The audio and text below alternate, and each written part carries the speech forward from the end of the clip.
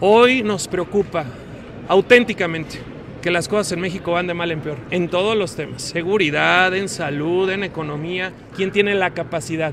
de poder llevar el primer gobierno de coalición, porque no va a ser fácil, porque López Obrador no va a reconocer que pierde, no va a aceptar un resultado cuando no le es favorable. Conocemos su historia.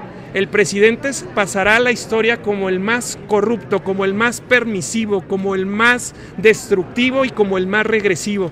Ya no solo es un sexenio perdido, es el sexenio de la destrucción.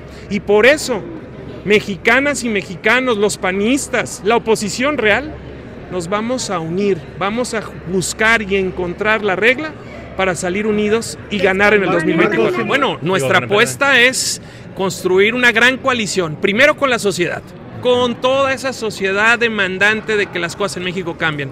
Segundo, con los partidos que quieran ser realmente opositores. Yo solo les digo una cosa, si en el 2021 hubiésemos sido los partidos PAN, PRI, PRD y el partido de MC en coalición, hoy tendría México una Cámara de Diputados con mayoría opositora.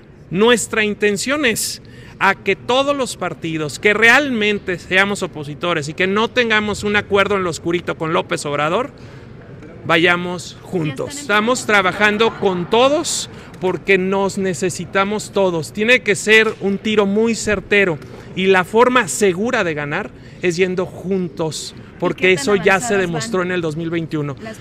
Vamos avanzando, lo que yo lo que yo creo es que pasando junio será un momento muy oportuno para empezar a establecer cada partido sus propias reglas, escuchar a la sociedad y finalmente poder construir una regla, un convenio de coalición, que por cierto, la fecha límite para cerrar un convenio de coalición es noviembre, que nos permita en enero, en febrero, construir esa candidatura que sume a todos.